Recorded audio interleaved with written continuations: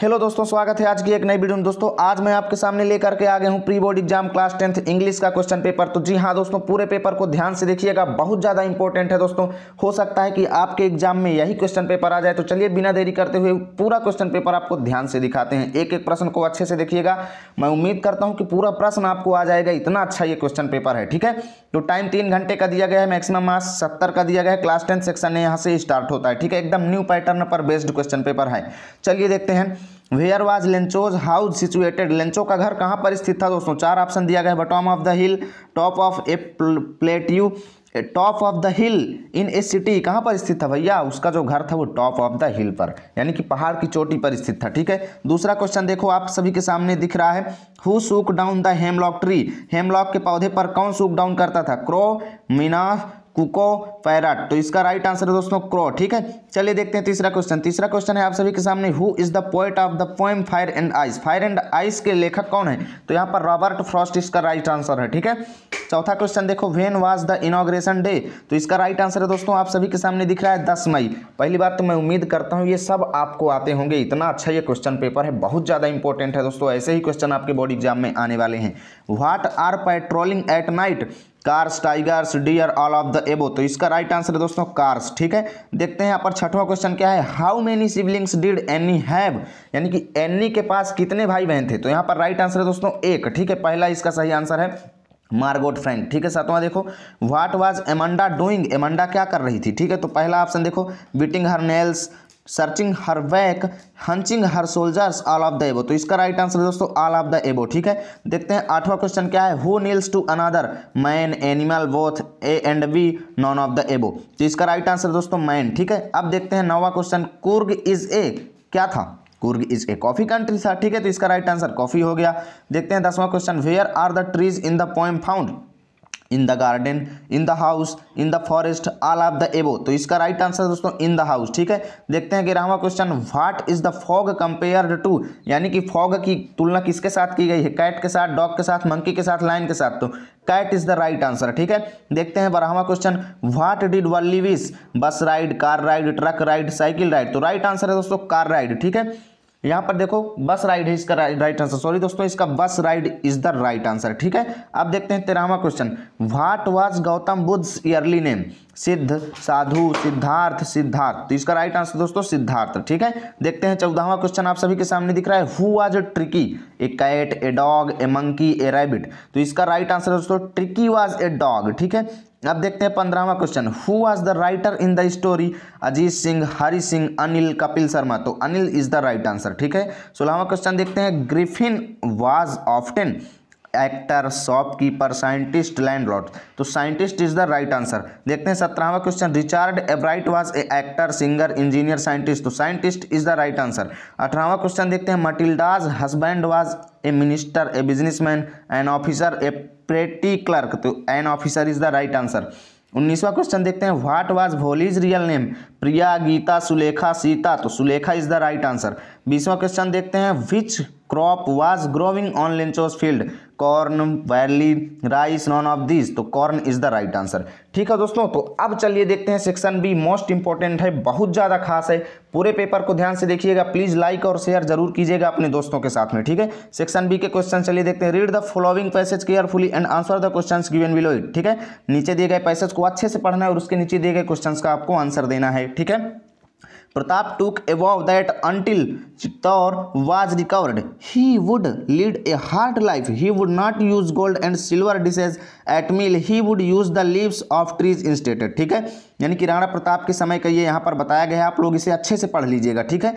His bed would be of straw and he would not is have his word he ordered that no one should plow the fields and no crops should be grown in the country ठीक है he showed greatest valor in the battle of haldighati with a small body of 22000 rajputs he fought against the he fought against the huge army of the Mughal emperor ठीक है Akbar and made himself immortal so he is honoured even today for his spirit of sacrifice ठीक है? यहाँ पर ये राणा प्रताप की दशा का वर्णन यहाँ पर किया गया है उनके जंगल में रहने का, हल्दी घाटी के युद्ध का, ठीक है? देखिए यहाँ पर कुछ क्वेश्चंस दिए गए हैं, आप लोग इन्हें सॉल्व कीजिएगा क्योंकि भैया आपको तो एग्ज़ाम देना है। सब कुछ मैं बता दूँगा तो आप लोग फिर मेहनत नहीं करेंगे और आप लोग इस तरीके से आलसी हो जाएँगे, ठीक है? तो यहाँ पर देखो वाट वो डिड प्रताप टेक, ठीक है? आप लोग यहाँ पर देखेंगे तो आपको मिल जाएगा। पहले ही लिखा हुआ है Pratap took a vow that until Chittor was recovered यहाँ तक आपको लिख देना है। आप लोग बाकी क्वेश्चन का आंसर ढूंढिए। मैं चाहूँ तो पूरा आपको बता सकता हूँ, लेकिन आप लोग कहेंगे तो फिर मैं बाद में सॉल्व करा दूँगा, ठीक है? What orders did Pratap give आप लोग इसमें ढूंढिएगा। बहुत ईजी है दोस्तों, सब मिल जाएगा। एक्सप्लेन द अंडरलाइंड एक्सप्रेशन ये जो नीचे दिया गया है, इसको आपको एक्सप्लेन करना है dear found find out a word in the passage which is the opposite of cured cured का उल्टा इस वाक्य में आप, इस पैसेज ढूंढना है, कोई ना कोई आपको शब्द ऐसा मिल जाएगा, ठीक है? चलिए देखते हैं बाईसवा question answer any one of the following नीचे दिए गए किसी एक का आंसर देना है, ठीक है? किसी एक का। Write an application to the principal of your college requesting him to make a regular arrangement for evening games अपने कॉलेज के प्रिंसिपल से रिक्वेस्ट करो कि वो आपके कॉलेज में शाम के गेम के लिए कुछ व्यवस्था कर दें। ठीक है? बहुत ईजी है, लिख सकते हो। Write a letter to your father requesting him to purchase some books and school dress for you अपने पिताजी से आग्रह करते हुए एक लेटर लिखो जिसमें उनसे कहो कि वो आपको कुछ किताबें और स्कूल का ड्रेस खरीद दें भैया। ठीक है? तेईसवा देखिए answer any one of the following in about eighty to hundred words ठीक है? यानी कि अस्सी से सौ शब्दों में आपको आंसर देना है। Write and report on the blood donation for freedom from disease in your school on the basis of the hints given below यानी कि यहाँ पर जो हेडिंग्स दी गई हैं ना दोस्तों, इन हेडिंग्स का यूज़ करते हुए आपको इस टॉपिक पर क्या लिखना है? एक रिपोर्ट बनाना है, ठीक है? अस्सी से सौ शब्दों में, ठीक है? दूसरा देखो write an article on the yoga a way of life on the basis of the given hints given below यानी कि ये जो हेडिंग्स दी गई हैं, इनका उपयोग करते हुए योगा पर आपको एक आर्टिकल लिखना है और करना क्या है? दो में से किसी एक का ही आंसर देना है तो आराम से कर सकते हो, ठीक है? चलिए देखते हैं चौबीसवां question rewrite the following sentence by changing into indirect यानी कि नीचे दिए गए वाक्यों को आपको इनडायरेक्ट स्पीच में चेंज करके लिखना है। I said to my father sir please explain this stanza again ठीक है, इसको आपके इनडायरेक्ट स्पीच में चेंज करना है। अब देखते हैं B number change the following into passive voice इसे पैसिव वाइस में चेंज करना है। हु राइट्स ए लेटर ठीक है? अब देखते हैं यहाँ पर C number punctuate the following using capital letters wherever necessary यानी कि कैपिटल लेटर्स का यूज़ करते हुए ये वाक जो है ना, इसको पंचुएट करना है। ठीक है? पंचुएशन इसका करना है, जहाँ पर कैपिटल लेटर लगे, वहाँ पर कैपिटल लेटर का यूज़ करते हुए इसको पंचुएट करके सही लिखना है, ठीक है? अब देखते हैं D number, translate the following into English. ईश्वर महान है, वह सर्वव्यापी है, उसने हमारे लिए चाँद बनाया है, उसने सूर्य बनाया है, आदमी घर बनाता है, परंतु आदमी एक भी फूल नहीं बना सकता। हमें ईश्वर की पूजा करना चाहिए। कितना ईजी है दोस्तों सिंपल सेंटेंस है, आप लोग आराम से बना लेंगे।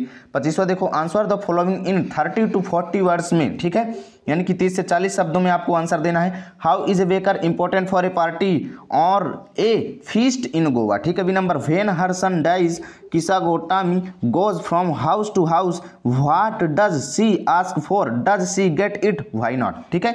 बहुत अच्छे क्वेश्चन है, तीस से चालीस शब्दों में आंसर देना, छब्बीसवां देखो। Answer any one of the following in about sixty words में। How did Mandela's understanding of freedom change with age and experience ठीक है? चार अंक का ये है, ठीक है? ठीक है दोस्तों? बी नंबर क्वेश्चन देखो। Who was Anne Frank Anne Frank कौन थी? Why did she decide to write diary वो डायरी लिखना क्यों निश्चित कर ली? ठीक है? उन्हें क्यों लक्ष्य लिया डायरी लिखने का? सत्ताईसवां देखो। वाज एमंडा एन फन यानी कि अमेंडा अनाथ थी क्या? आपको बताना है। Give the reason for your answer अपने आंसर का कारण भी बताना है। अट्ठाईसवां देखो। Write the central idea of animal in the following animals या फिर फॉग में किसी पर भी आप एक सेंट्रल आइडिया लिख देना दोस्तों। या फिर write four line poem any preserved in your syllabus अपने सिलेबस से कोई चार लाइन की पोएम लिख सकते हो। उनतीसवां देखो answer any one of the following about thirty to forty words where did Griffin sleep in London store who was the only companion of a bright what did his mothers do ठीक है? अब देखते हैं तीसवा question answer any one of the following in about sixty words do you think Tricky was happy to go home what do you think will happen now ठीक है? अब देखते हैं दूसरा. Why did Wolly at first agree to an unequal match why did Celets reject the marriage what does this tell us about her ठीक है? आप लोग अब इस क्वेश्चन पेपर को सॉल्व कीजिएगा और अच्छे से एग्ज़ाम दीजिएगा। पेपर की पीडीएफ चाहते हो तो भैया टेलीग्राम ज्वाइन कर लो लर्न विथ आरपी के नाम से। मिलेंगे आपके साथ नए वीडियो में। तब तक के लिए जय हिंद, जय भारत।